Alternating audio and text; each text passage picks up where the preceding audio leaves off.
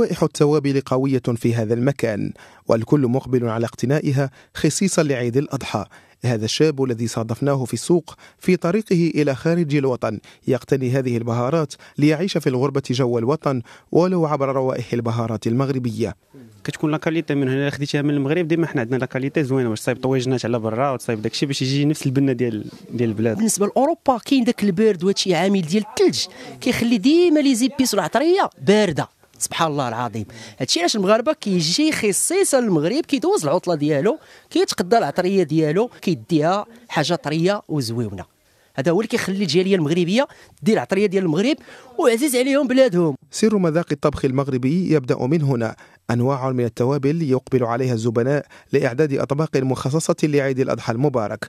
والجودة هي ما يجلب الناس هنا بالأساس. السوق كاين والأثمنة مزيانة الأثمنة مناسبة. كيف العادة؟ كيكون عند الناس هادشي ديال التقلية بحال هادشي ديال الدواره تقول الدوارة حتى كاين واحد الانواع ديال العطرية اللي كنحتاجوها. وبالاخص بالاخص العطرية كناخذوا دابا حاليا. العطرية كتكون جديدة وسخونة. ديما حنا نحتاجوا العطرية العام كامل العطرية ولكن سبيسيالمون في العيد كتاخذ شي أنواع اللي ما كتستعملهمش طول العام.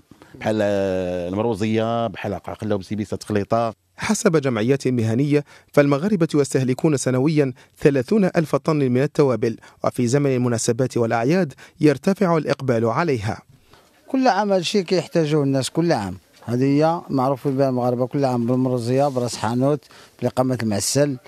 كل شيء كل عام كنديروا إن شاء الله وكل شيء مزيان. هو شكل من أشكال الحفاظ على الموروث المغربي المتميز. عيد الأضحى مناسبة للعودة إلى الأصول واستعمال خيرات الأرض المغربية العريقة وهو مناسبة للدعوة إلى البحث عن الجودة والحذر من المنتوجات غير الأصيلة التي قد تشكل خطرا على صحة المستهلك.